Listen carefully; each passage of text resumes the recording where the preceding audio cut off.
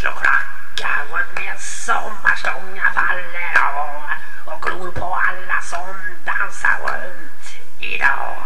Och sen så sätter vi oss ner vid busken här och det är så kul. Vi är så glada när det är kräftskiva. Då kan vi vara med.